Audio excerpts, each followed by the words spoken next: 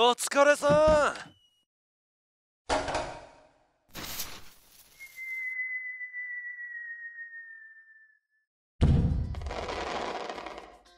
おっす。俺どんちゃん。10番台で花火やってるぜ。今日はよおめえらに伝えてえことがある。実はだな。ニンニン？ああ！8番台か。いきなりなんだよ。ビビらすんじゃねえよ何を話していたでござるか？いやなおめえも知ってると思うが俺たちのフラッシュの呼ばれ方って間違ってるだろ。え？これの正しい呼び方教えてやってくれ。さあ早く。えー、これはネズミでござる。ニンニン。ブッブー！どうやら8番台おめえも分かっていねえようだな。よし今日は特別に教えてやる。俺が正しいフラッシュの名称を教えてやるぜ。まずはこれだが南半球だ。み南半球？そうだ。この水の流れは左回り。すなわちこの地が北半球である証拠。そしてこのフラッシュは右回り。だから南半球だ分かったかこの野郎！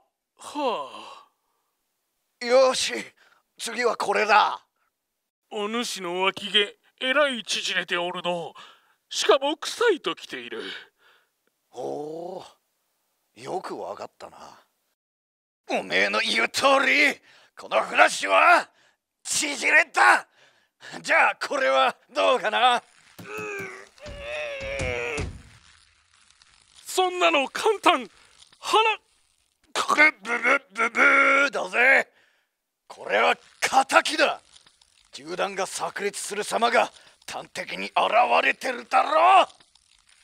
ちなみに打ち上げを伴った場合は親の敵だ。おらい。本当におらいよしどんどんオレオレ行くぞ。これは記憶な。打ち上げ付きなら古の記憶だ。だんだん頭が混乱してきたでござるよ。えっ、とトイレが南半球だから10番台の脇毛は汚いと。あれ？なんか違うでござるな。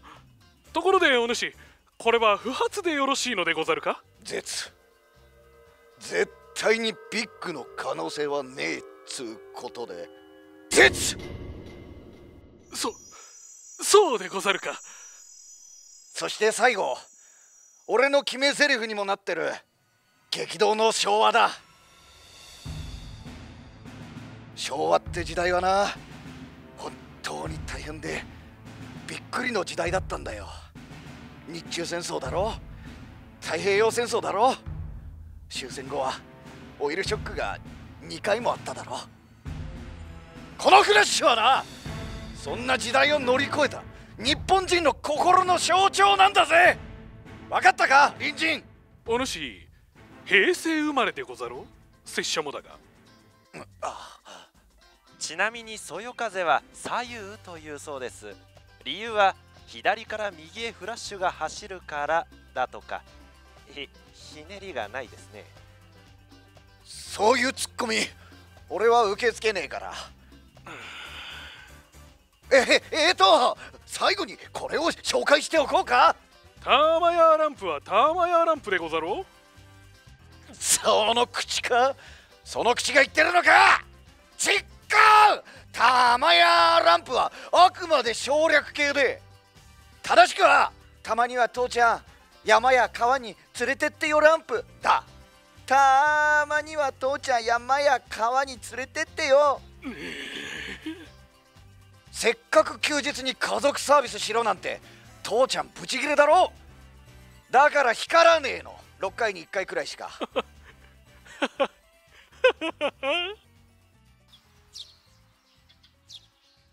そろそろ出勤の時間だな。うむ。それでは昭和